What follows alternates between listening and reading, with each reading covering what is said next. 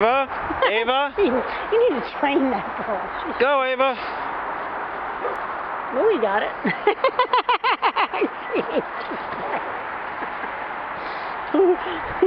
He's smarter than she is.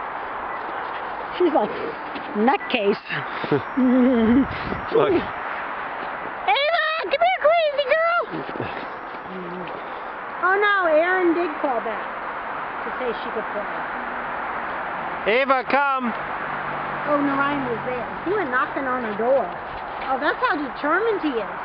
Because she wouldn't give us an answer. He went over and